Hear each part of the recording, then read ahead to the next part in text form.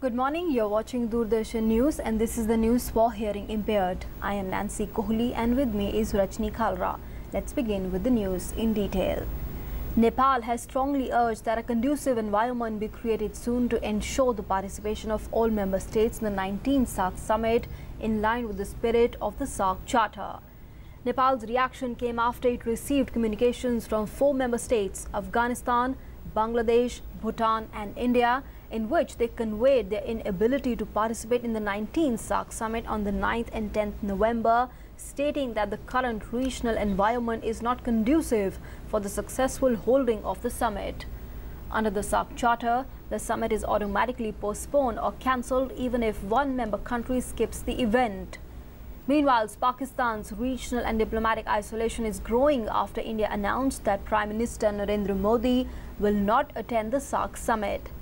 Without naming Pakistan, India said increasing cross-border terror attacks in the region and growing interference in the internal affairs of member states by one country have created an environment that is not conducive to the successful holding of the summit. Uncertainty now hangs over the fate of the 19th SAARC summit.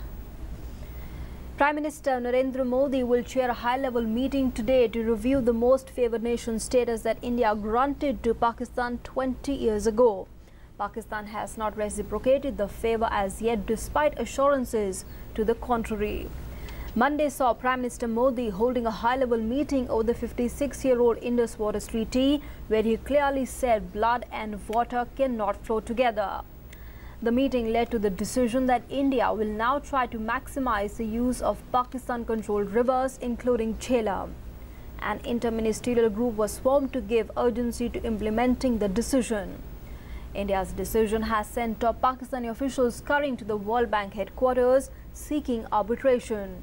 But experts say Pakistan's move will amount to nothing. All eyes are on whether India will decide to withdraw that special status given to Pakistan as part of a series of diplomatic and non-military strategic retaliatory measures being taken by India after the Uri terror attack.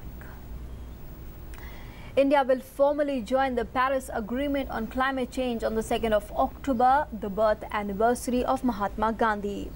Prime Minister Narendra Modi had announced in Kozhikode that India will ratify the Paris climate deal made in Paris last year on the 2nd of October. The Union Cabinet chaired by Prime Minister Modi has given its nod for the same. The decision is expected to give momentum to implementation of measures at the international level to control global warming. As per the provisions of the Paris Agreement, the treaty will come into force as and when 55 countries contributing to 55% of total global emissions ratify the agreement. So far, 61 nations have deposited their instruments of ratification, acceptance or approval, accounting in total for 47.79% of the total global greenhouse gas emissions. The centre will launch Progress Panchayat, an outreach campaign to create awareness about its programs for the welfare of religious minorities today.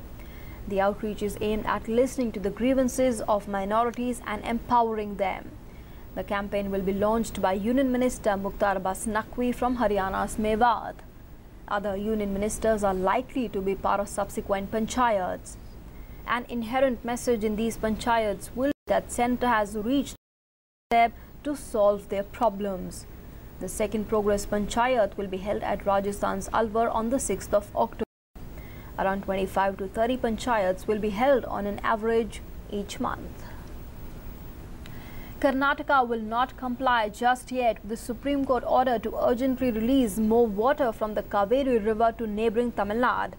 The Karnataka government deferred the release of the Kaveri water to Tamil Nadu for the second time after the Supreme Court ordered the state to release 6,000 cusecs of water for three days starting Wednesday.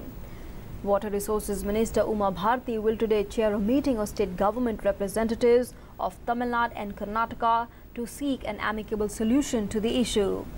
Tamil Nadu Chief Minister Jayalalithaa has deputed a cabinet colleague to attend the meeting as she is unwell and recuperating at the hospital.